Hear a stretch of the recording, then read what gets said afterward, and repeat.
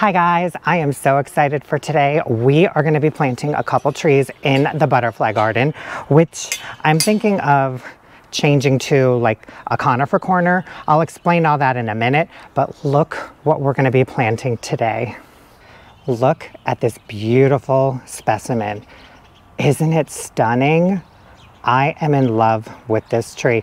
I was never a huge fan of weeping trees and over the past few years I have just fallen in love with them. This is the Blues Blue Spruce from Monrovia and oh you guys look at this thing. I have been wanting one of these for so long and I got my hands on two of them. Mm. You guys, look at the color of this. It is a silvery blue green.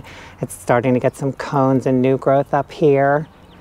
And oh, it is just an absolute beaut. And the thing I love about these trees is that no two trees are exactly the same. They each have their own unique growth pattern. So these are hardy down to a negative 50 degrees or zone two. They grow about six feet tall and wide if left to their natural form, or you can stake the leader, in which case you can get a more upright growth you can see on this that the leader, this is the leader, and you can see that it is staked. And I'm going to continue staking it because I do want this to kind of grow in a more upright shape. But if you were to let the, if you were to unstake this and just let the leader grow on its own, it would kind of just start to bend and curve and go down and you'd end up with a more mounded shape. Let me show you the picture on the tag. This is what it would do in its more natural shape, which I kind of like it too, but I definitely think I'm gonna keep the leader and just let it grow more narrow and upright. But I am just, I'm so super excited to get this in the ground and it is going right over there. All right, let's get this. Ooh. Okay, let me show you where we're gonna put this.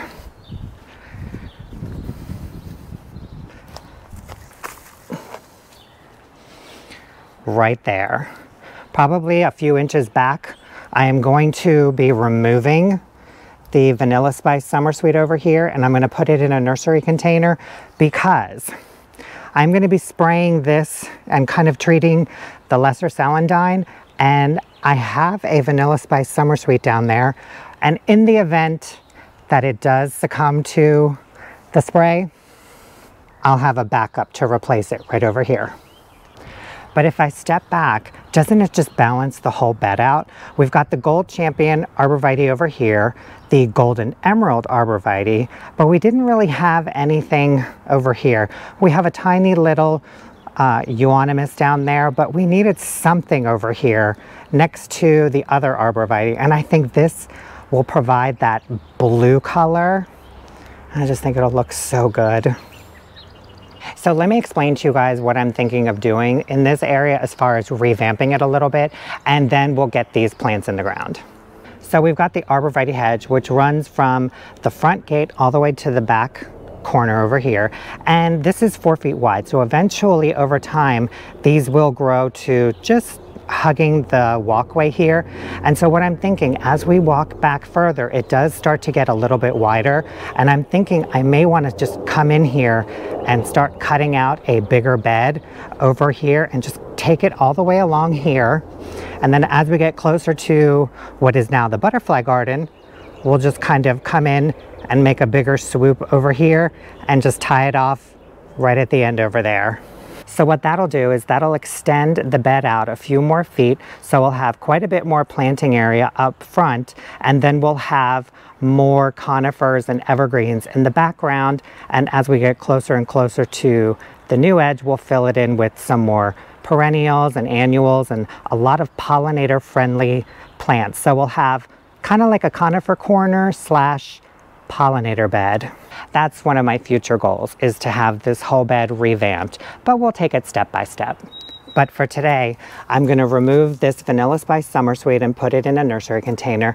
And then we're going to plant this in its place. And then over here, I've got a gold thread false cypress that I have sitting in a container over here. I'm just kind of had it here, just kind of eyeing it. And I think I'm gonna get this in the ground too because This will get about four feet tall and wide, so it'll fill up this whole area beautifully. Plus, look at the color of this next to that. Here, let me get it over closer. Isn't that beautiful? I just think they complement each other so well. For today's project, I've got my shovel, a nursery container, my kneeling pad, gloves, and Biotone starter fertilizer. All right guys, let's get them in the ground.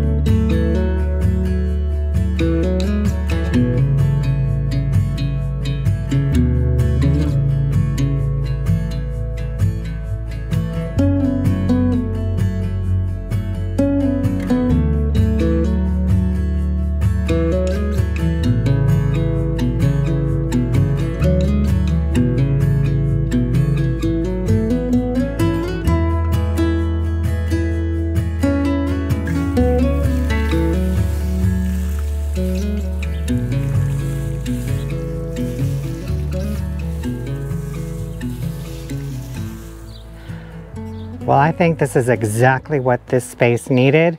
A little bit more balancing out and a little more winter interest. And once everything just starts to fill in, it's just gonna look so good. I am so happy with how this project turned out and it didn't require too much effort.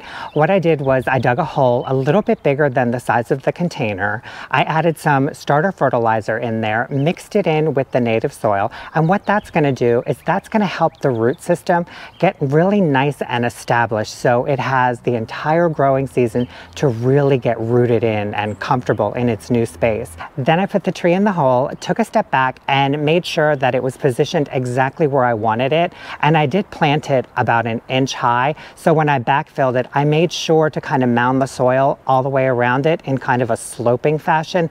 That way all the water would run away from the trunk of the plant instead of towards it.